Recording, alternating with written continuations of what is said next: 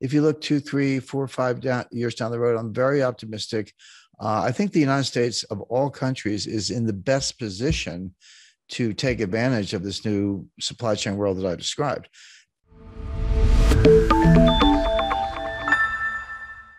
Welcome to Wealthion. I'm Wealthion founder Adam Taggart. Thanks for joining us for part two of our interview with macro analyst James Rickards. If you haven't yet watched part one of our discussion with Jim, where he explains why today's inflation will give way to painful disinflation and deflation that will pull the markets and the economy down further in the coming year, head over to our channel at youtube.com slash wealthion and watch it there first. It sets the context for the investment themes we discuss in this video. Jim also kindly shares the portfolio allocation that he thinks will weather the coming storm best, so be sure to stick around for that. All right, let's get started watching part two of our interview with James Rickards. And it sounds like you're saying, hey, well, even though we're all focused on inflation right now, the bigger bad in the story is the deflation one. Well, I, I agree with that. First of all, I, I agree with uh, Lacy's analysis. I've, I've, known him for a long time, and uh, one of the great minds. I follow his work uh, um, very closely. Um, but I, it's not that I disagree with them, but I would just add a little color, which is, yeah, there is an inflation dragon, and you do have to slay it, and we will. I believe we will. But um, it's going to come at an extremely high cost. When you say I'm sanguine about inflation coming down, well, I expect inflation to come down, but I'm not exactly sanguine about anything because the the that that's going to come in the face of it, what's already an economic slowdown. My point is, I think the Fed could get inflation under control by doing nothing right now. Right. Uh, right. Because yeah, your point, your this, point this is, is, it should be doing less. because because this is supply side, not demand side. If it were demand side, I would disagree. Demand side, you gotta you gotta crush it. But if you have supply side inflation, see, the Fed doesn't have any supply side tools, right? The Fed doesn't drill for oil. They don't drive trucks. They don't uh, plant crops. They don't, you know, right. Central banking policy is useless they, against. They don't. Uh, they don't work in push. warehouses. They can't do a thing. What they can do is work on the demand side to get interest rates high enough, mortgage rates high enough, money tight enough, etc. It will crush demand. But since the inflation is coming from the supply side, not the demand side, how much do you have to crush demand to actually reduce inflation? You got to like, you've got to squash it like a bug. I mean, you really have to destroy it to the point that you're going to get this recession and bear uh, a severe one. And bear in mind, behind the curtain of the international monetary system is this liquidity crisis, which I described, which is not directly related to either the supply side or the recession. I mean, those are those are economic phenomena that have a life of their own but you throw a liquidity crisis on top of it. And again, 1998 was an example of a global liquidity crisis that was there was no recession. I mean, the economy, uh, the macro economy was doing fine, and we we we went for two more years. You know, Nasdaq went to uh, uh, you know it crashed 85 percent, but um, you know Nasdaq peaked in January 1st, 2000. So you know 99 and uh, 98 and 99 after the Russia long-term capital management crisis that was when you know you, you know the sock puppet and JDSU and uh, you know uh, all these tech stocks right. going to the moon, et cetera. Uh, but there was no recession. Um, but we're kind of heading for both. And the Fed doesn't see either one of them. They're not looking. Hey, like it's, it's not like I have secret data, like I broke into a safe or something. I mean, it's the data is there. They just don't know enough to look at it. They don't understand. I mean, Janet Yellen, she's a treasury. She she doesn't understand any of this. Uh, I don't know what she. She's a labor economist and a statistics geek. I she I can't. I've seen no signs she knows anything about monetary policy or fiscal policy. Uh, Powell's better. Uh, I think he has the benefit of being a lawyer instead of an economist. I think economists can be a handicap in the situation, but um, but lawyers are good at looking at both sides of the issue and being balanced. Um, but uh, but he relies on the staff, and the staff doesn't really understand what we're talking about. There are actually very few people who do, um, and so there this the, the system's flashing red, in the famous words of George Tenet, but no one's looking.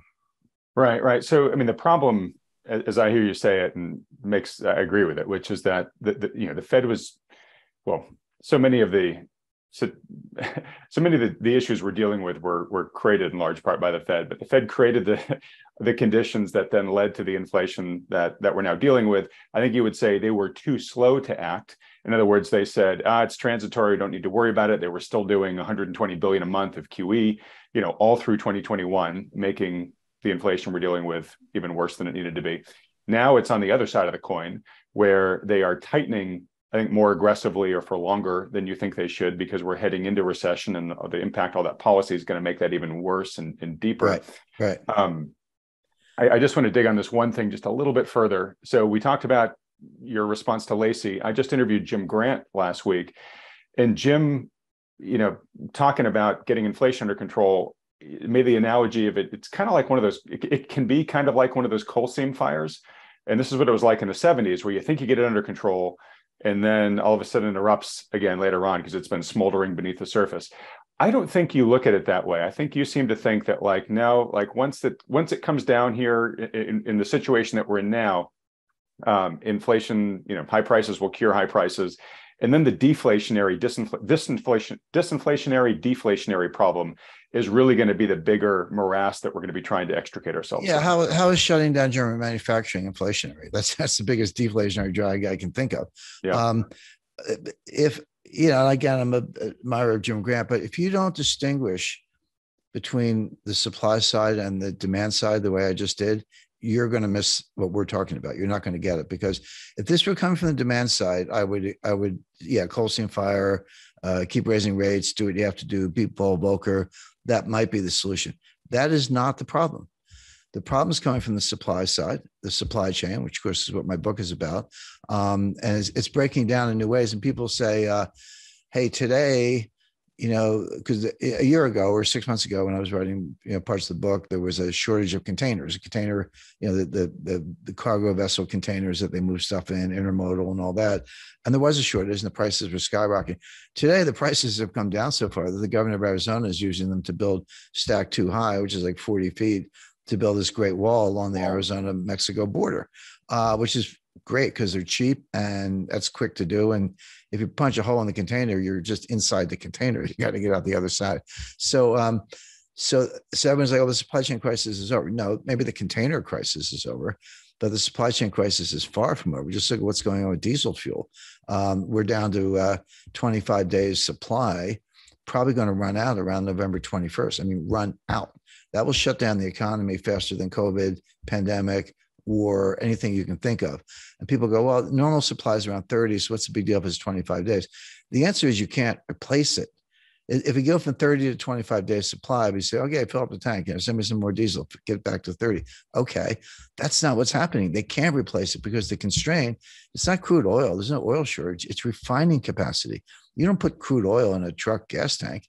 You put diesel fuel, but you got to run it. It's a distilled product. You got to run it through a refinery and there's a, a, severe refinery shortage. A couple of them are uh, uh, constrained, a couple of them are shut down, and this stuff isn't fungible. I mean, the for gasoline and kerosene, jet fuel, you want what's called light sweet crude, which is lower sulfur content, lower viscosity. For diesel, they like the heavier, you know, the thick, uh, the blacker stuff.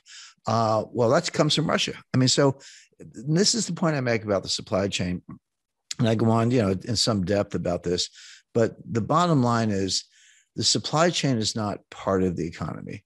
The supply chain is the economy. Everything you can think of, from you know my microphone to your camera to the furniture to your studio, comes from a supply chain. The clothes we're wearing, the food we eat, everything. And so, if that is dysfunctional, which it is, it's the start of enormous, uh, enormous economic problems. All right, Jim. Uh, so many questions for you. Um, high level. Um, so you talked about the world kind of the world trading partners breaking into sort of two members only groups here. Right. Um, you also talked about how um, this, you know our supply chains might cost a little bit more going forward because we're kind of building the insurance to make them more resilient, right, more secure. Right. Um, so is the global economy pie that at least we in the West participate in going to be sort of shrinking a bit because we are now not going to be trading as much with other players that we were trading with before. And and what's left over from that pie for everybody to eat is that going to be less too because we have higher costs in the system. General general question is, is are we sort of staring at a future of less? Yeah i, I don't think so. growth? yeah I, I, I don't think so. I've given a very dire uh, short run forecast to maybe one year forecast. If you look two, three, four, five down, years down the road, I'm very optimistic. Uh, I think the United States of all countries is in the best position to take advantage of this new supply chain world that I've described. Now we can, we're very capable of screwing up with bad public policy. And we're going through a really rough patch right now. I mean, Biden, uh, I, I don't know what to say. I mean, he's he's not really in charge. That the people who are don't understand the economy, don't understand what we're talking about. They live in an ideological bubble. This whole green new, I call it the green new scam. You know, the, the, the real science of climate change, there's no existential crisis.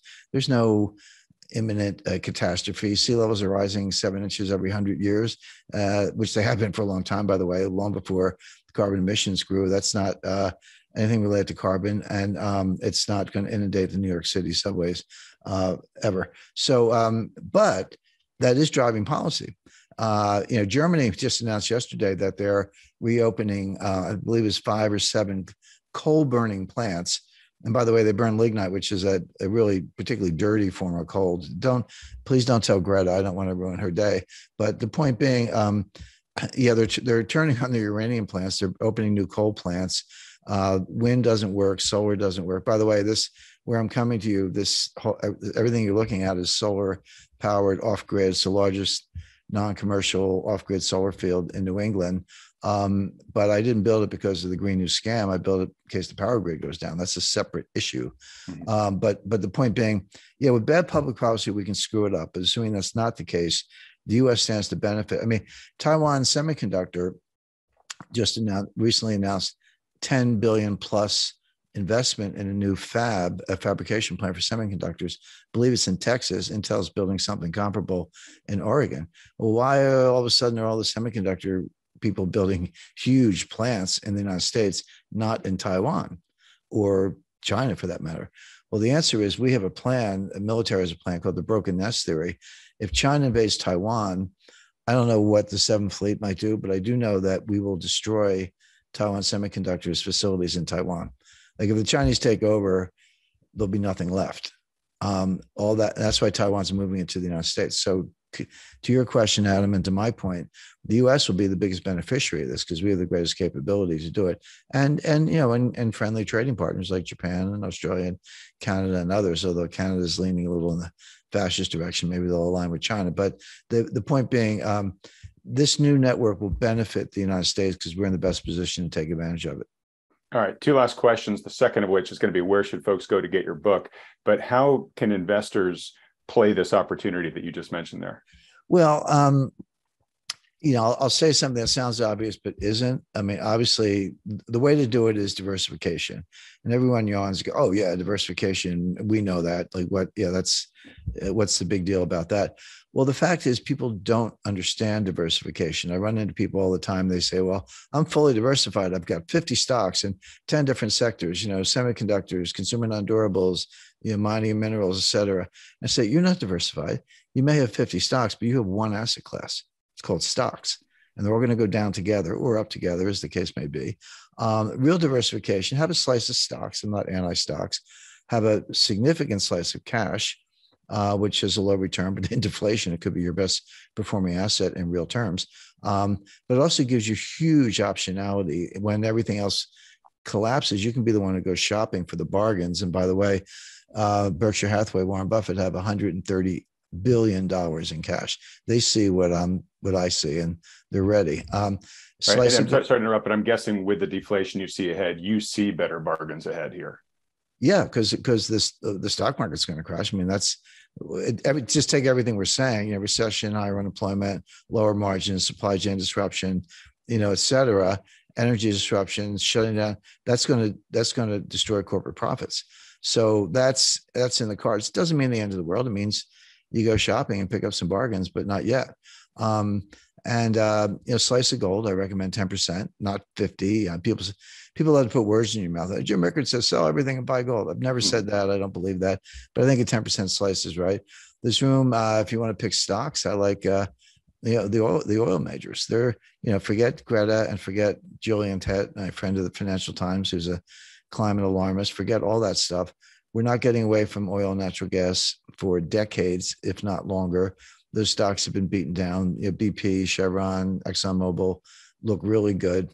Um, And uh, you know, there's room for private equity, some you know venture tech startups, a real estate, uh, not commercial but residential, farms.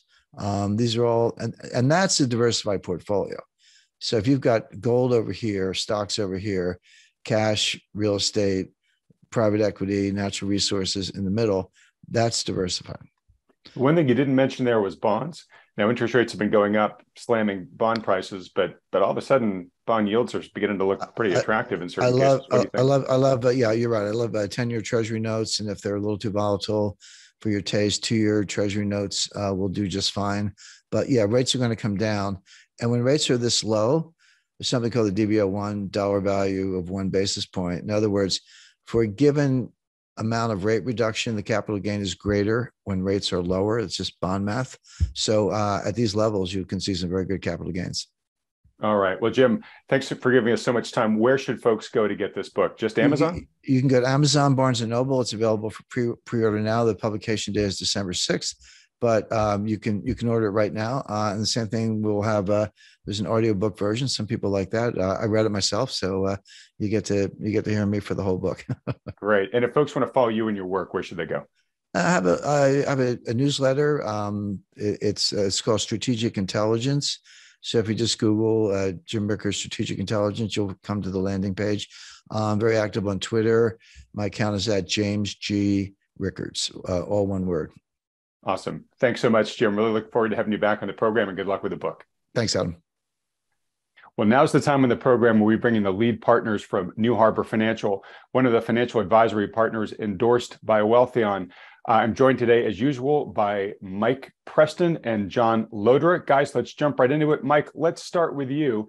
Um, I imagine much of what uh, Jim said is probably pretty copacetic with how you guys look at the world, but but what's your key takeaways from this conversation? I really enjoyed that talk, Adam. Uh, Jim is, a, is just a legend on Wall Street. You know, goes back to um, the the bailout of long term capital management in 1998, and obviously his his career goes back beyond that. But he J- Jim's a very smart guy. He's been around Wall Street a long time. And you know, when you asked him about the global financial situation, we, we've got to com- completely agree. The economy is definitely weakening, and we're almost certainly in a recession. He talked a lot about recession and the technicalities of how GDP is measured, but you know, we're almost certainly in a recession or going into one soon. And the, the, the market is priced for nothing near that. The stock market right now is still priced at bubble levels, just barely touching the levels reached at the pr- prior peaks in the tech bubble, for instance, and certainly higher than the peak in uh, 2008 before the housing crisis really uh, started off in full force. So, and, and, Jim says this is more than just a slowdown. He thinks that we're going to have more, more like a catastrophe. I I try not to be too negative and too doomish, but I can't help it. This, you know, the bubble that we've lived through is just so massive, and all we've seen is maybe a 20% pullback in the S&P. It's very unlikely that we're going to get off so easy. We probably are going into more of a catastrophic downturn, or at least more than your garden variety slowdown. You know, that's what Jim was talking about, and he talked a lot about a liquidity crisis. He likened this to what happened in 2008. I, I'm not sure I uh, I, I, don't know that we see that in, in complete parallel. For instance, I think that uh, the mortgage loans back then were poorly un- underwritten and so forth. But he talks about a, a, number of different metrics that you can't argue with, like an inverted yield curve, which is a pretty stark warning about some a looming recession and potential liquidity problems. So he sees this as a liquidity crisis, and we mostly agree. And um, and then he then he talks about the Fed. You know, he says the only thing the Fed can do right at this point is to stop raising rates, and yet he he thinks, like I think most of Wall Street thinks, that today, in, in less than an hour, as we're as we're recording this, the Fed is going to announce a rate hike, probably 0.75 percent or 75 basis points, and then in December, probably another 75 or 50, is what Jim said. So who knows? Most of that is pretty much baked into the cake already. If you look at bond prices, they're way down and yields are, are, are way up. On the 10 year yield is somewhere around 4.2%. And mortgages are above 7% on the 30 year fixed. So, it, we, in summary, we're probably very early in a recession or right at the doorstep of it. The bear market probably just got started. We're down 20% from the all time high. Uh, we are almost certainly, in our view, in a bear market, and it should last a lot longer, and it'll be more, it'll be stronger than your garden variety bear market. Nobody knows exactly how far it could go, but losing 50% from the top or even 50% from here wouldn't be out of the question, just given how extreme a lot of the metrics have been. So, Jim uh, talked a lot more about other things, but I'll leave you some space to ask some other questions and uh, pause there for, mo- for a moment. All right. Um, I, I, want to get in a minute to um, you know Jim's uh, portfolio allocation that he mentioned there because um, I, I, I, see there's some similarities with what you guys are doing, but would love to get your reaction to that. Um, before we get there, John, anything to tack on to Mike's comments there in terms of your sort of top takeaways?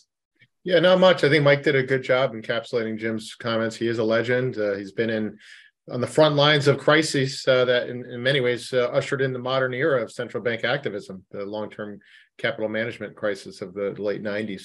Um, you know, I think Jim talked about um, the reality that a lot of the ramifications of the Fed tightening thus far uh, have typically will take time to work through the system. Um, you know, in terms of unemployment being a lagging indicator, you know, oftentimes really ticking up much at, you know, well after a recession is, is well underway.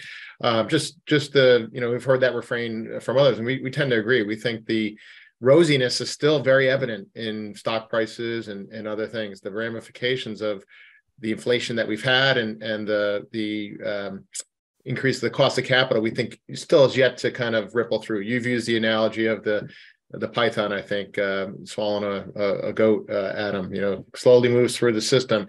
We agree. So I think that's at the heart of why Jim thinks the Fed probably could and should maybe pause here, which is I want to I want to be careful to point out that that's not a pivot. Many people think pause equals pivot. In other words, let's start you know dispensing the morphine again.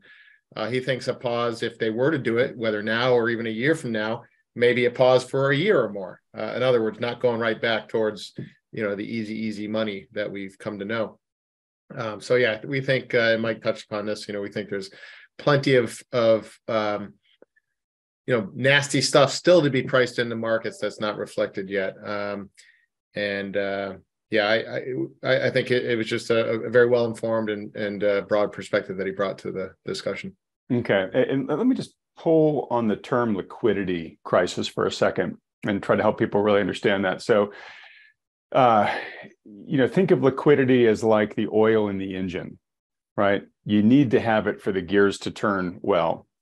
And what we had back in in say 2008 is we we we had a uh, basically a, a, lack of oil in the system, right? We just had the credit that that flows to the economy. Just those flows just began stopping for a variety of reasons, primarily because nobody really knew where the, the worst risk lay. And so you had parties that would otherwise normally happily lend to each other start reining in those that that lending because they just weren't sure if they were going to get paid back or not.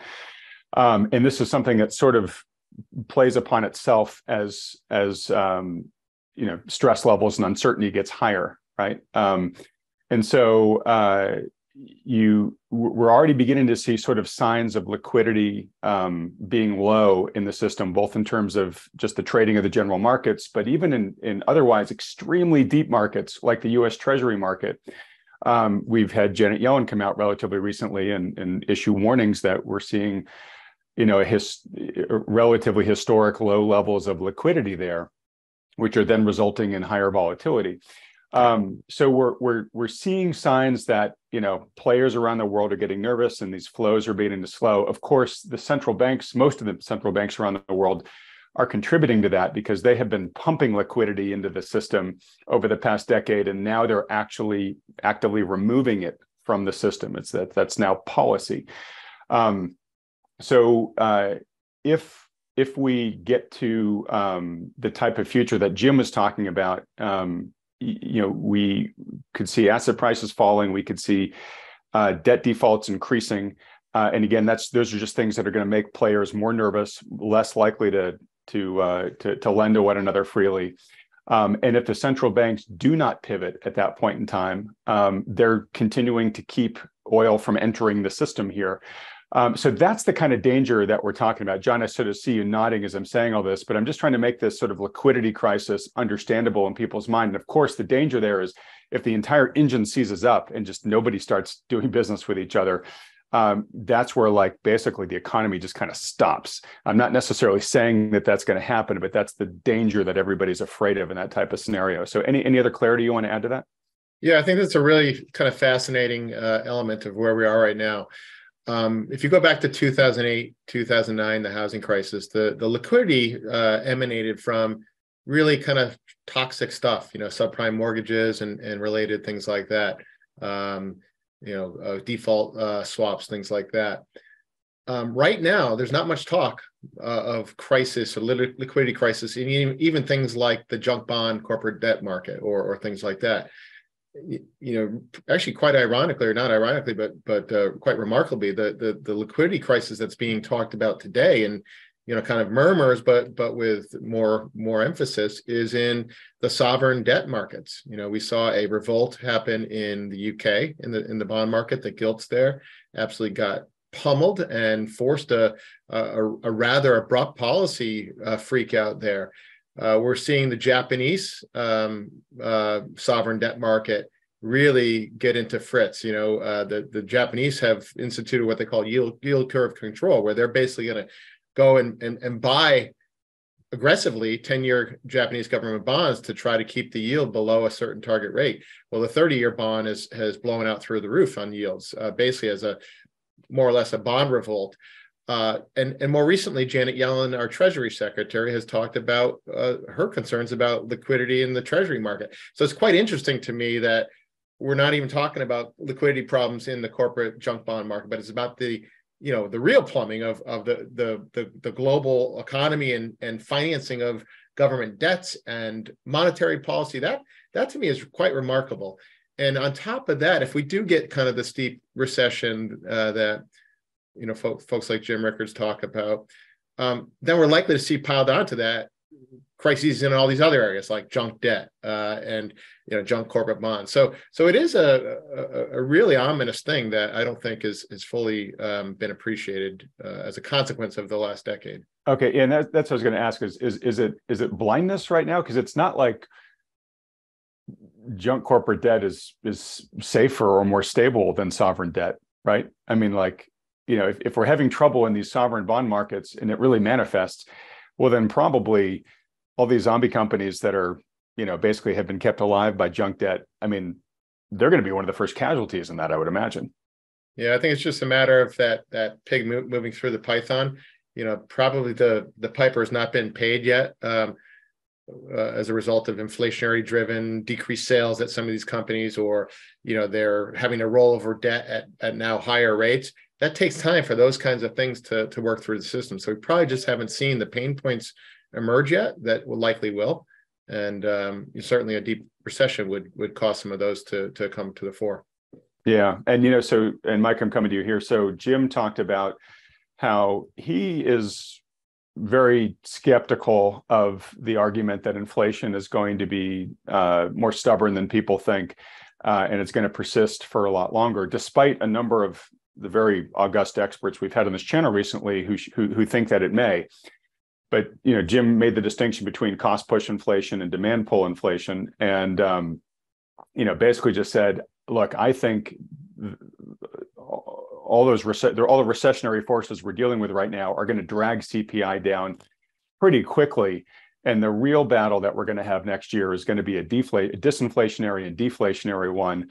And inflation may almost kind of be, you know, historical fact by that point in time.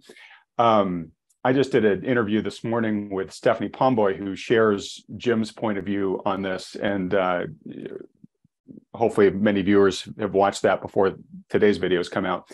But um, I mean, she makes a, a, very compelling case basically for the, the same thing. Um, so John just mentioned that, you know, going into a severe recession could be the trigger that sort of ignites uh, the instability that we're talking about in terms of uh, liquidity continue to dry up. Um, do you, what, what are your thoughts in terms of, you know, uh, deflation and recession next year? I would say that for a long time, even the last few years, we thought that a deflationary impulse was was the real risk and the likely thing to happen. I'll tell you that I was somewhat surprised at just how how high inflation spiked and how fast it did post COVID. Looking back, I shouldn't be surprised seeing that there was nearly seven trillion dollars of, of new money created and just thrown into the system. At the same time, we weren't letting people really go out, so they were just buying things on the internet, you know. So I mean, it, obviously, it caused this inflation. The question is, is it going to be here to stay? A lot of people are afraid that it's going to be here to stay. Um, personally, I think that it's likely that we see a quick pullback in inflation, at least to the four to five percent in the next six to nine months. Past that, I, I, I'll be honest, I'm not totally sure. However, my inclination towards thinking that we're not only in a recession, but very likely a pretty historic bear market, um, you know, leads me to believe that we're going to see some pretty big asset price crashes, particularly in the stock market. And the housing market will be impacted too, even if less than the stock market. And so it's hard to imagine that we're going to have an asset price decline if we're right about that without uh, imagining that uh, inflation is going to be hit hard and driven back down towards the zero level and maybe even into negative. And once it goes into negative, you're talking deflation. So I, I think there's a very good chance that we might see deflation at the kind of kind of like the peak of the economic decline or crisis that we're likely to have in the next year to two. And if that happens, it's going to be a great time to own cash and uh, long-term high-quality bonds. So uh, yeah, I think the market's probably overreacted. We just saw uh, as you were doing uh, on your on your program, Adam, you were telling people about the I bonds, which had a cutoff last Friday at, at I think 9.6 percent. They're still paying, I think, six or so percent, if I if I could remember, for the next it's six, six months. Six point eight something. So it's actually closer to seven, which is Still, pretty, good. nice. Still pretty good. And yes, it's only for the first six months, but not a bad deal if you don't need the money anytime soon. Um, but you are limited to ten thousand dollars a year. Uh, it, it- to Per me, we- person per year, just commenting on the videos I mentioned in terms of how you can actually end up getting a lot more than that That's as a family. that's But, yeah. true. There are ways to do it, and you talked about gift box, and there's there's the very different. There's ways you can actually have more, um, um, and you can do that. But once you once you reach those limits, you're you're kind of capped out in that idea. And so the big money is in you know the, the institutionally the big money is in the bond market. The bond market is four or five times bigger than the stock market, and a lot of that money is going to try to nail down long term rates at or near where they are right now 10 year yield at 4.2 or so and that should provide a lift for bonds so yeah i think this this may be better than an even chance that we see inflation trend back towards zero and even go negative for a short time in the next year or so so deflationary risks are definitely there and you want to be in cash or, or in high quality bonds when that happens All right. So and now let's get to Jim's allocation. So um, we we're talking about um, uh, you know Jim basically is all about diversification, right? So uh, Jim's talking about um, you know owning owning a bit of everything, right? You know even a diversified portfolio of stocks is still just stocks, right? Um, but he talked about um, obviously cash starting with, and that now is a time to be owning more cash than normal for the reasons that you just mentioned there, Mike. Um, he said about 10% gold. Um, uh, in stocks, uh, he really likes, um, you know, the the producers, commodity producers, oil majors in particular, um, but also, you know, some real estate, farmland if you can get it, private equity if you can get it, um, but then obviously also owning some stocks and bonds. Um, a little more bearish on stocks right now, besides the commodity producers. A little more bullish on bonds right now for the reasons that you just mentioned there, Mike.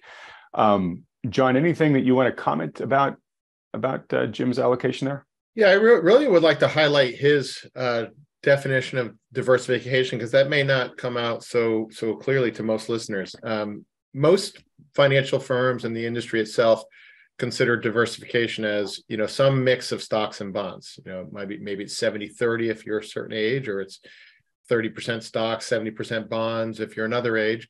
But the, the concept of, of diversification is this pie chart of traditional, you know, stocks and bonds, maybe some token allocation to broad commodities, you know, something like 2% or something like that. And I think the point he was trying to make is that that's not really diversification, certainly not in, in this uh, modern environment where everything has been goosed by uh, central bank policies. You know, look at this year, for example, both stocks and bonds, which have always been thought of as counterbalances to each other, have gotten pummeled, right? Um, in, in true diversification is when you have non-correlated assets, uh, things that move uh, opposite of one another. So when you talk about cash, that's a non-correlated asset with the stock and bond markets. And not only that, but it's actually yielding some uh, some meaningful yield right now, and provides the option value, the, the true option value, which is a, a very um, elusive but quantifiable value of being able to convert that cash to uh, other things at lower prices should they occur. Uh, things like um, the natural resources in the, in the land, the farmland. These are all um, you know some of the pricing of that did get caught up in this this asset bubble fueled by by um, quantitative easing and stuff like that. But but these are true diversifications. I would add to that hedged strategies. You know, taking traditional stocks and bonds or other traditional assets and augmenting the risk reward equation uh, by using hedging tools. That that is a form of diversification in and of itself because it it it kind of augments or or modifies the risk profile, the risk reward profile in, a, in an intentional way. Uh, so I just wanted to call out because that that's really important, I think, for fo- for folks to understand. Yeah, and uh, John, uh, you know, we have you on this program because you guys are financial advisors that take into account the macro issues that I talked about with Jim, and we talk about with all the guests on this channel every week. Um, is that type of helping somebody think about how to create a truly diversified uh, set of holdings conversations that you guys have when when people call you? It, it absolutely is, and, and we kind of quip that you know sometimes we do a really good job at telling people to, to do things with their money other than to have us manage it. Uh, so that involves paying off debt, um, you know, restructuring their their balance sheet at home. Um, which can be very sensible, can be very wise. One of the wisest uh, financial decisions you can make right now, maybe even more important than how you invest, right? Depending on the circumstances. So yeah, we we think those are all parts of the equation. You know, our, our bottom line is we we as as important as financial assets are to most households in this country, there are plenty of other areas that are important that we counsel them on. You know. Um, building some resiliency into their career path and and uh, a lot of different intangibles that we think are really part of an equation that certainly affect their financial assets and, and how those those play out. But um, the, the, stock portfolio isn't the be all and end all of a happy life. Uh, is is the way we we imagine things. Yeah, yeah. I mean, we talked about a little this yesterday in yesterday's uh, monthly Q and A. Um, but but but fair to say that your guys' role is to uh, talk with people about the full spectrum of wealth in their lives, come up with a plan for that, and then say, okay, we can specifically help you with the financial asset side of it, but we've we're plugging that into a bigger vision. Yeah, absolutely, Adam. It's it's uh they're all intertwined. It, these are people's lives that that are attached to this money. So of course. All right. So um, as we start to sort of wrap things up here, uh, Mike, you said that uh, uh, you know, in a couple of minutes, actually, it's too bad we we didn't have the opportunity to record this a little bit later, but we're going to find out what uh, the Fed has to say this time around. Um, we'll have to pick up that thread next week in terms of uh, whatever aftermath there is from from the comments. But as best we can tell, Fed's probably going to raise 75 basis points. Um, and I guess everybody will be looking to see whether um, Powell shows any moderation in terms of his forward guidance, uh, in terms of you know continued rate hikes and, and whatnot. But you know, I'll let you opine on two things. Um, one is, you know, I know we're you and I and probably everybody watching this are just so exhausted of an environment where what really drives everything is what comes out of Jerome Powell's mouth. Um, we we we we all yearn for the day where we can all just be investors in looking at you know market forces and what's how particular companies are faring well in their sectors and try to pick the right winners. Um, but so far, still, it's central bank policy that continues to really drive all the price action.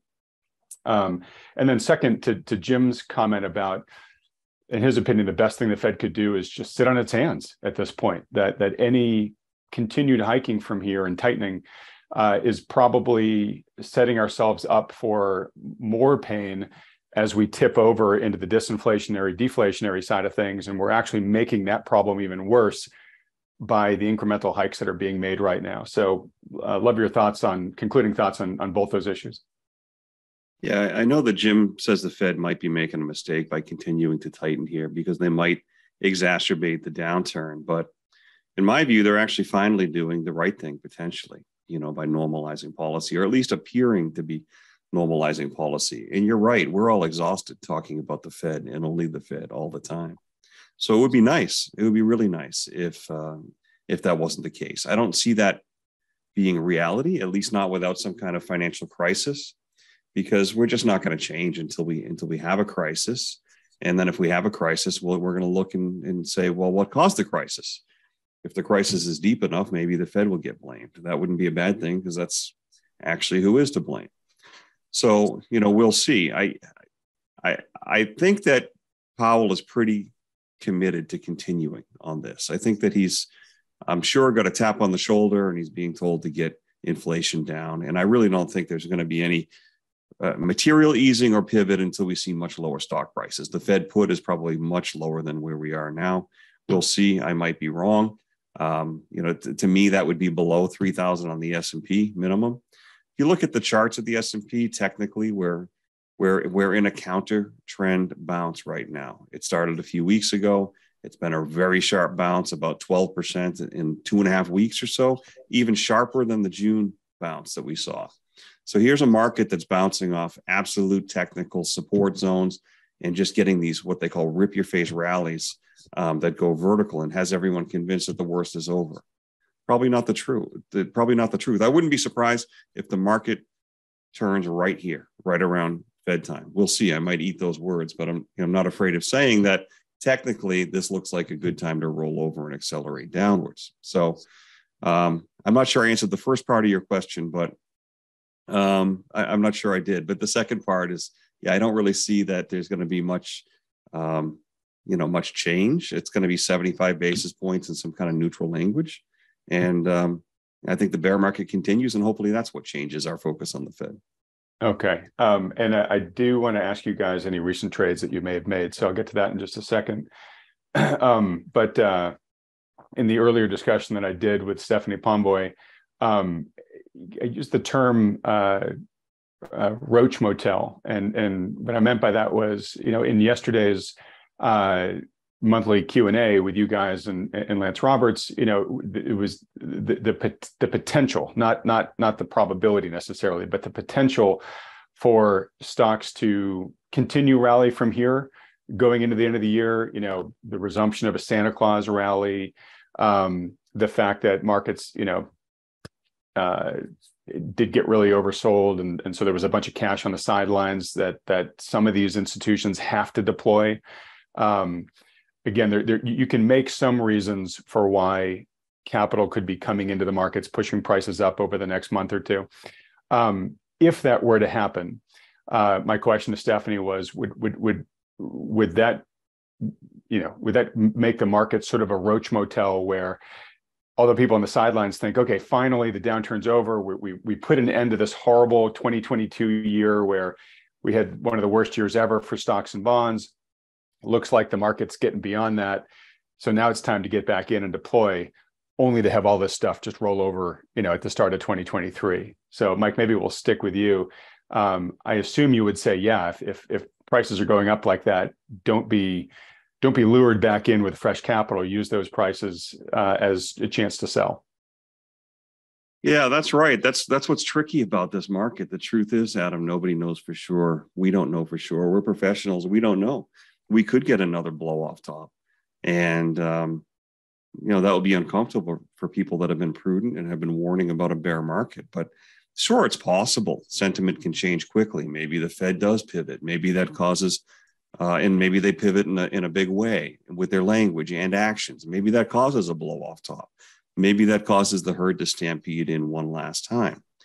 We know, though, that this market for a long time, more than 10 years, actually probably 20 years, has been relied, reliant on a, on a perpetual bubble in terms of valuations just to continue going. Every time the market normalizes and comes back to a Shiller price earnings ratio, for instance, that's more of an average valuation you know that's that's that's a move that almost ends the world like in the bottom in march 2009 and the central bank comes in and rescues it again so maybe maybe there'll be one more hurrah. But if it is it's not going to be a healthy thing. It's not something that you should chase. It's not something that we will chase other than maybe some slices of exposure in sectors that look strong with some very tight hedges. That's to say that we we won't go all in. You to make big money or big returns you have to you have to go all in. They call Jesse Livermore the plunger for a reason. He wasn't afraid to go in or with leverage even to make big returns. The problem with plunging in anything is it can wipe you out. So when we have extremely high valuation, speculative fever, maybe we would take some small slices uh, of exposure, but not much. So, um, but to, to me, all the technicals still point down. So you know, expecting a blow off top is just kind of a hope and a prayer at this point. And I would just sit back and look and see what happens. All right. Well, really well said. Well, John, real quick, um, any trades you guys have placed on recently? I remember you guys were talking a week or two ago that you put, um, I think, a new long, maybe energy trade on. Um, but, yeah.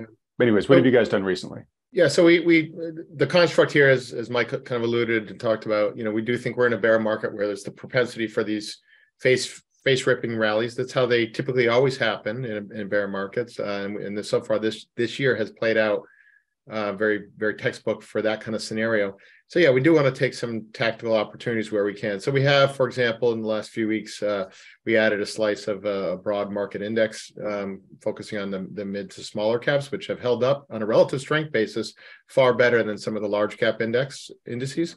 Um, we actually just exited that trade uh, yesterday. It was a very um, modest trade. It was it was you know hedged very tightly um, to to the extent to which if we were early in in calling that near term bottom, which we perfectly are capable of being wrong in the timing. That's that's a that's an impossible task to get it perfect.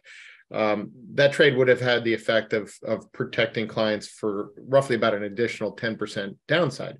There is no free lunch, of course. We've given up some upside on this uh, on this recent bounce. We didn't capture all the, all the recent bounce, and in fact, we exited that position yesterday. Uh, the, the, because of the position size of, of that uh, trade, not all of our client accounts could get it. It had to have a certain account size to have the economics of that trade or the mechanics of that trade work out. But we also have uh, added uh, incrementally to emerging markets for some clients that were underweight that uh, to our to our goals. Um, you know, broadly speaking, but also some Latin America Latin America focus there. We do like, we have liked, we do continue to like emerging markets, certainly from a, a broader evaluation standpoint. And um, yeah, so those are some modest trades we've done recently. Um, you know, however, we are looking for you know much better opportunities to to to put uh, the ample amounts of cash that we're holding for clients to work. Yeah, yeah, and I, I know, and again, these, these are modest sized positions because you're still cash heavy because you're so concerned about the, the current outlook. Uh, in the emerging markets um, sleeve, uh, I, I, believe because we had Tavi Costa on not that long ago, and he was really surprisingly to him bullish on Brazil. You guys, I think, were looking at Brazil pretty closely too, correct? Yeah, we actually did put a, a piece of, of Brazil uh, in with with some call options against it to bring some some buffer on volatility. And of course, it's a small. We, we intentionally made it a small position size as as technically constructive and fundamentally constructive as we like the the sectors and the underlying economy. Uh, you know, industries in in the Brazilian economy. There is quite a headline grabbing uh, political event going on there right now with the recent uh, you know upset victory of of uh, Bolsonaro, uh, and and you know so far uh, a muted uh, but seemingly order orderly um, intent to have the the power cede, but there's enough uh, opaqueness there that there's there's people holding their breath as to whether this will be a orderly succession of power. So um, we're not uh, blind to the you know potential political backdrop there and the and the volatility that may cause for that. Right, and when people talk about country risk, that's a good example of the type of risk you want to take into account. Was EWZ, was that the ETF that you guys were looking at for that? Yeah, we we, we generally try to stay away from tickers, uh, just because that that gets into a realm of of regulatory disclosure that we probably would need to splash some. But you know, th- there aren't too many ETFs that uh, that track uh, the Brazil market, so you know that would be uh, you know, certainly inadequate for th- for folks wanting to get exposure to that space. That would be an adequate uh, and very proper way to to get exposure to it. All right, I'm going to talk about another ticker too, Mike. I'm going to come to you. Uh, we've talked about in this program before, but TLT. Um, uh, people are a number of the recent discussions on this program, including yesterday that we had.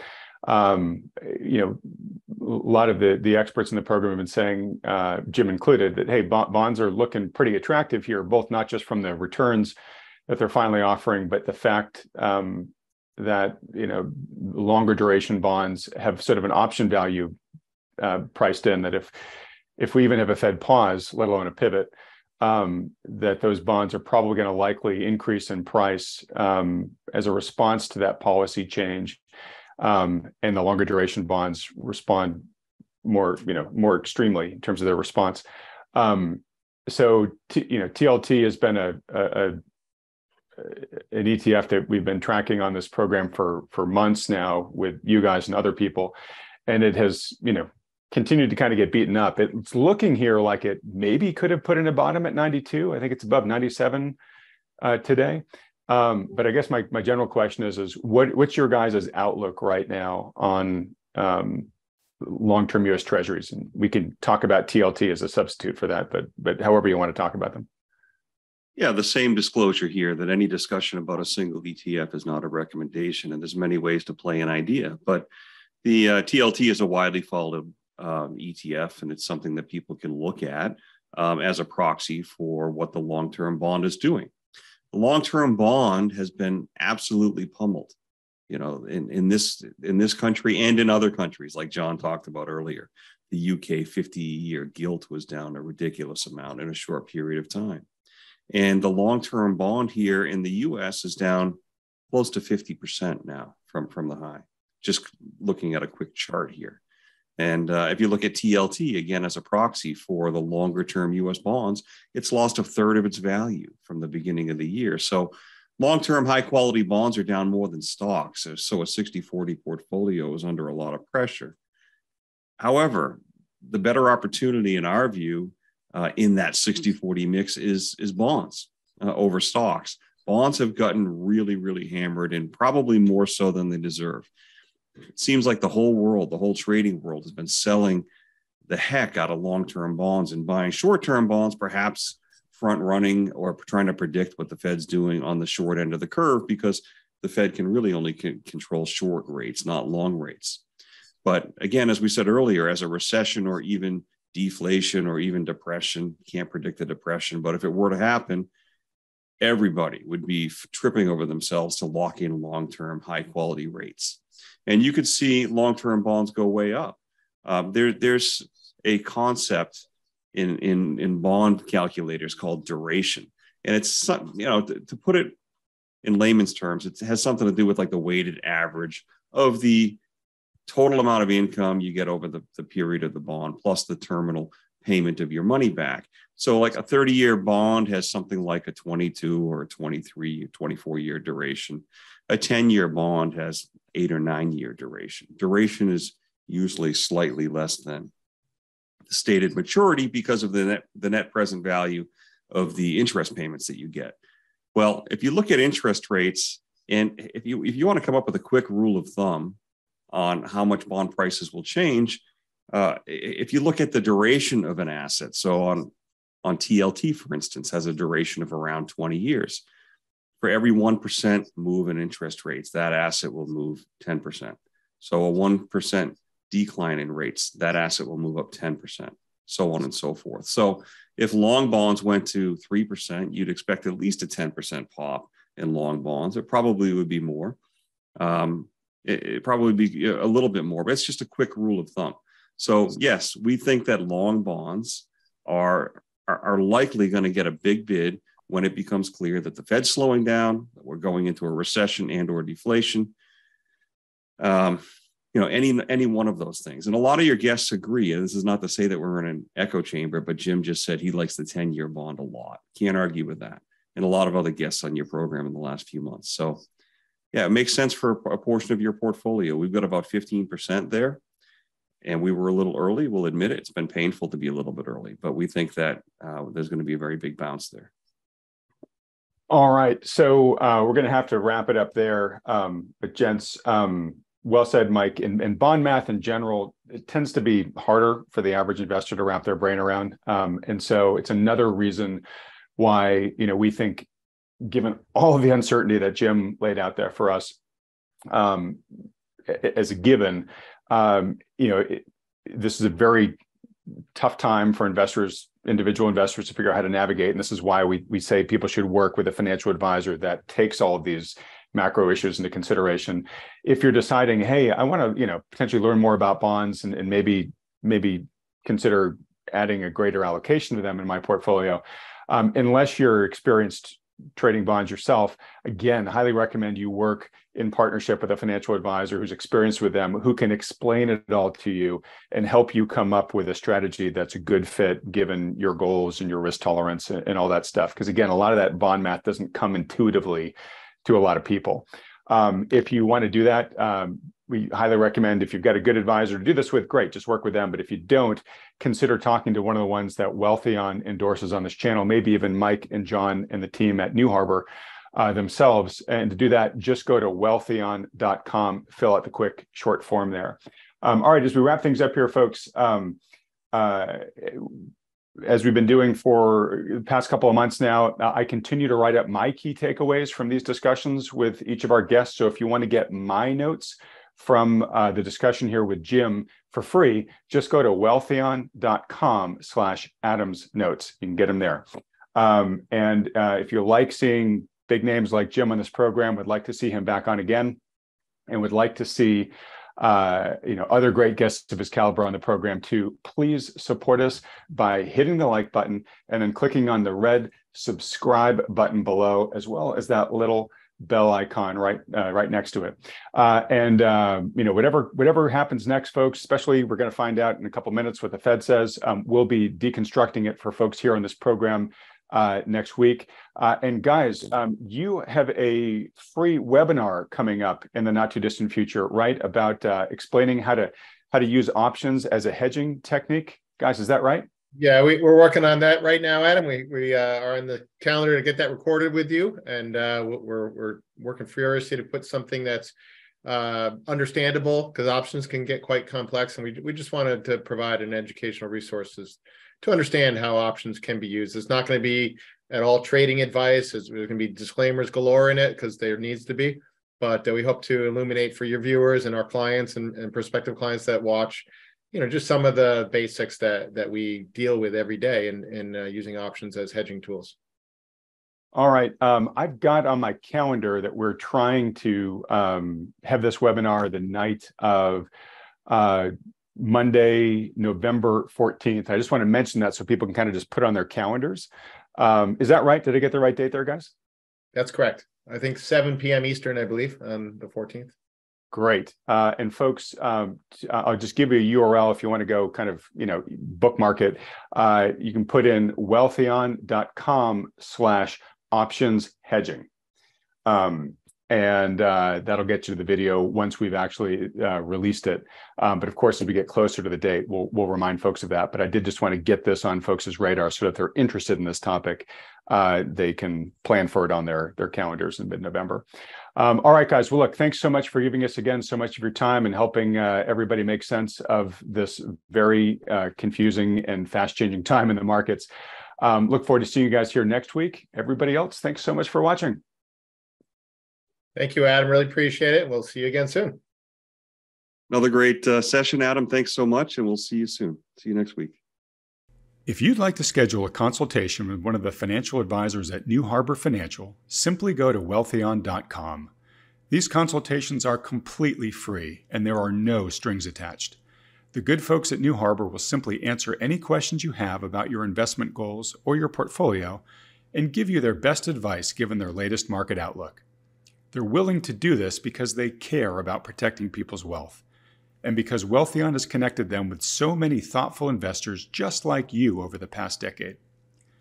We started doing this because so many people have approached us in frustration, looking for a solution because they're feeling out of alignment or downright ridiculed by the standard financial advisors who have been managing their money. You know the type. The kind that just pushes all of your money into the market, scoffs at the idea of owning gold, and when you bring up concerns about the market's sky high valuations, they say, Don't worry, the market will always take care of you. For many of the reasons discussed in today's video, we think this is one of the most challenging and treacherous times in history for investing.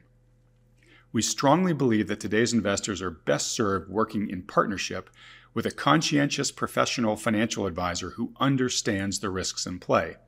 Now, we're agnostic which professional advisor you work with, as long as they're good. If you're already working with one, that's fantastic. Stick with them.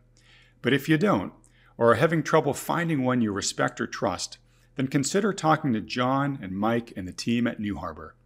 Now, for those about to ask, yes, there's a business relationship between Wealthion and New Harbor, which we've put in place to make sure everything is handled according to SEC regulations.